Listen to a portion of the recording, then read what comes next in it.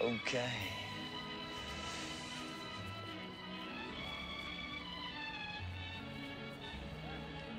Oh.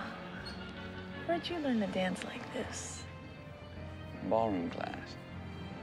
Oh, you're gay. Oh, yeah. Yeah, the gayest. Oh. No. My, um, my mother put me in ballroom classes when I was eight years old, and she wanted me to be Fred Astaire, you know. I wanted to be Marcus Welby. So now you're a little bit of both? Uh, I think you're being kind, Marion. You need to stop that. I'm gonna blush.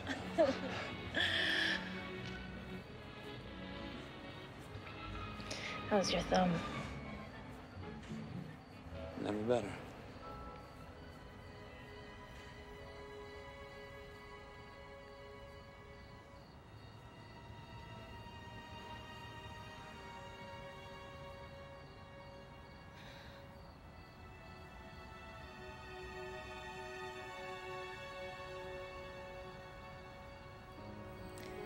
YMCA. My next Scrabble match is Saturday at 1 o'clock at the North Side YMCA. It'll be the social event of the season. Maybe you should be there.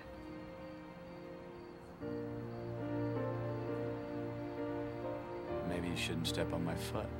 Did I? Yes. I'm sorry. I... That's okay. Just don't let it happen again. Don't tell me what to do. I don't. No. What? 啊。